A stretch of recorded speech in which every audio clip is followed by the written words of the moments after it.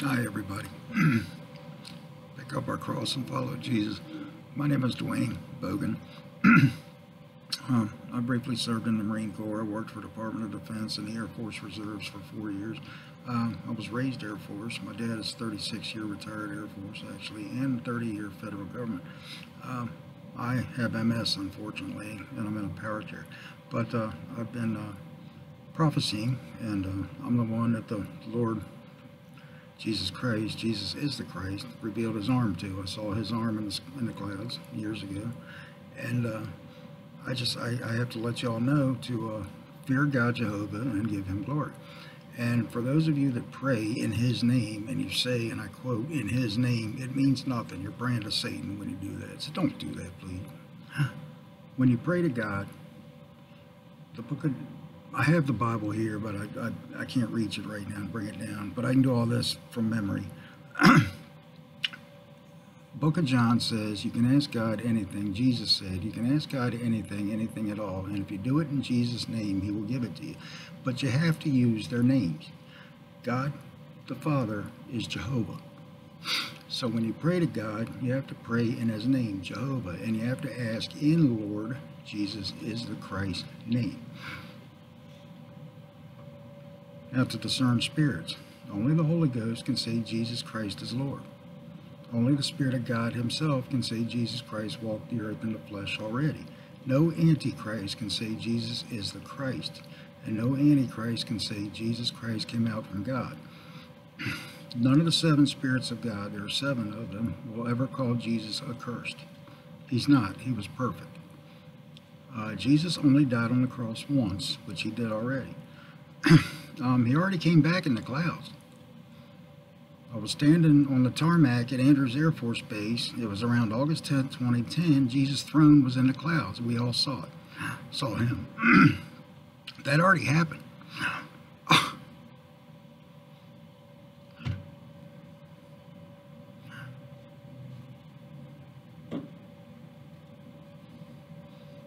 So anyway, with that being said, I was told and instructed by Lord Jesus Christ to shake the dust off my feet at, hiss at, rebuke, and denounce all antichrists and all the unsaved at this point.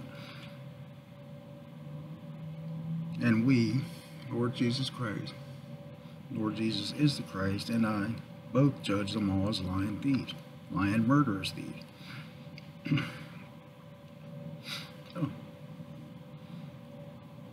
Another thing is pride. You're not supposed to be proud. I don't say proud to be an American. I say glad to be an American, and I am since I was a little kid. You're supposed to serve the Lord with gladness. That is in Proverbs and it is in Psalms. Uh, a psalm is, the Lord is our shepherd, we shall not want. You know that. Here in the valley of the shadow of death, under the shadow of the wing of God. That's two different psalms. That's 23 and 42, I believe it is.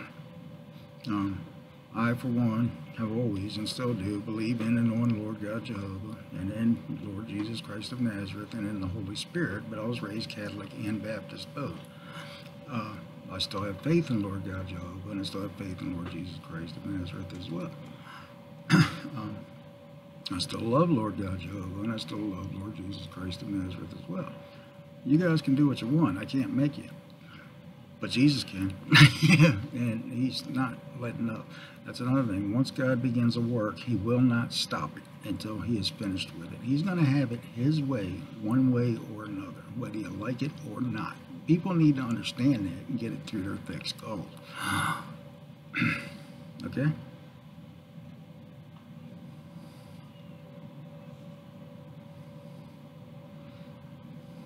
And with that being said, I offer every man and woman over the age of 18 that's not in hell a cold glass of water in the name of Lord Jesus Christ. If you like it, I will get it for you. I can get it. I'm capable. I have glasses. I have ice here. I have water here. No problem.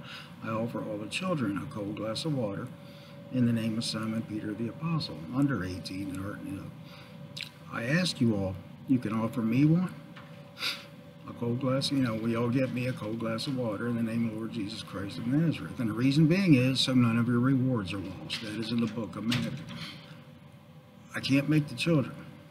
All the children you can offer me a cold glass of water in the name of Simon Peter the Apostle or in Lord Jesus Christ of Nazareth name, if you're that Simon Peter the Apostle for the kids. But I recommend, suggest, if you haven't, offer your parents, your mother or your father, a cold glass of water. Again, I don't want anybody's reward lost, and that's why I'm saying it. Uh, you all need to be born again, baptized with water.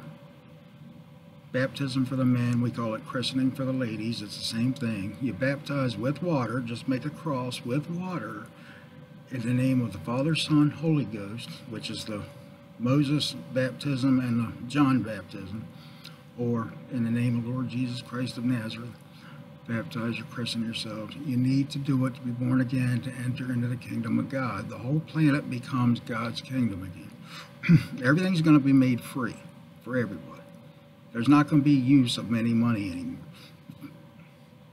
Book of John again. Jesus overthrew the money changers' tables, if you remember, in the, in the Father's house. The whole planet becomes the Father's house. There is no money. Aliens are real. They're other. They're not God. They are other creations of God.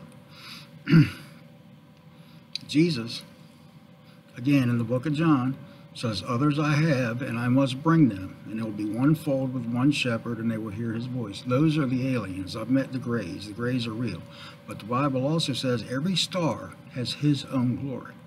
That means around every star, it could be the second planet, could be the third planet, could be the fourth planet, but around every star is a two legged being around it. That's how prevalent life is in the universe.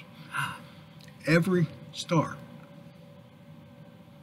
has a being around it and with that being said, we're created in God's image and God's likeness. A head, torso, two eyes, nose, mouth, two ears, body, two arms, two legs.